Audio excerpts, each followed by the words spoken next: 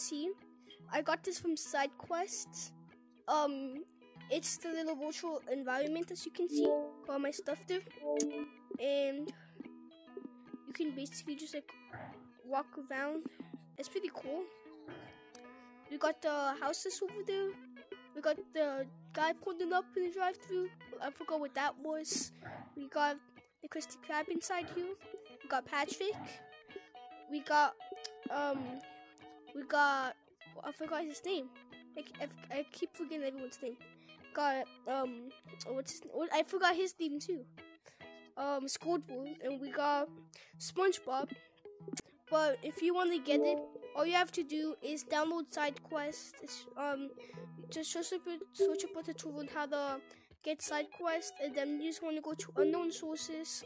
You want to go click SideQuest, and then you want to go over here, and then you want to, and then just search up custom home SpongeBob dash Krusty Krab, and download it, and then press the app library, and then get out of this stuff then go to Meta Quest apps, and then go to, and then go to the settings, and now now you wanna go to the, now you wanna go over here and you wanna go to the this thing personalization, personal yeah whatever that is.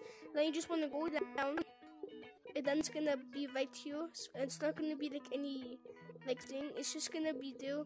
It's gonna say unknown source SpongeBob Krusty Krab and you and then you just click it, turn it on, and then you're gonna be in the Krusty Krab, and that's how you get it.